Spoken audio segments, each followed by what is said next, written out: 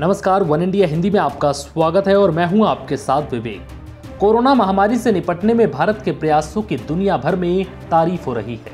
हाल ही में एक वरिष्ठ अमेरिकी वैज्ञानिक ने भारत की कोरोना वैक्सीन को लेकर ये कहा था कि अगर भारत दुनिया के देशों तक वैक्सीन नहीं पहुंचाता तो दुनिया का इस महामारी से बचना काफ़ी मुश्किल था। इस बीच अब आईएमएफ की मुख्य अर्थशास्त्री गीता गोपीनाथ ने भी भारत में कोरोना वैक्सीन की पॉलिसी पर बयान दिया। गीता गोपीनाथ ने कहा है कि कोरोना वायरस महामारी के खिलाफ लड़ाई में भारत की अग्रणी भूमिका रही है और वैक्सीन नीति के मामले में उसने अलग उदाहरण पेश किया है। गोपीनाथ ने सोमवार को एक कार्यक्रम के दौरान भारत के द्वारा वैक्सीन के तेज उत्पादन और इसे कई देशों को मुहैया कराए जाने के अभियान की सराहना की।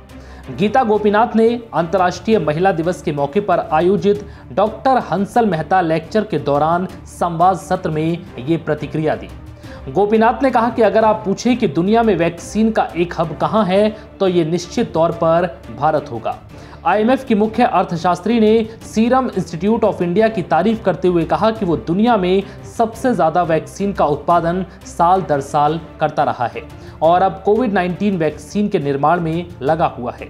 इसके ज़रिए गरीब देशों को वैक्सीन पहुँचाने के कार्यक्रम कोवैक्स में मदद मिल रही है। उन्होंने कहा कि भारत महामारी के खिलाफ लड़ाई में अग्रणी भूमिका निभा रहा है। भारत अनुदान के तौर पर कई पड़ोसी देशों को वैक्सीन की आपूर्ति कर रहा है। इनमें नेपाल, बांग्लादेश, म्यांमार शामिल हैं। कुछ देशों को व्यावसायिक आपूर्ति भी की गई है। गोपीनाथ ने कहा है कि भारत कोरोना वायरस के संकट से निपटने में वैक्सीनेशन के ज़रिए महत्वपूर्ण भूमिका निभा रहा है।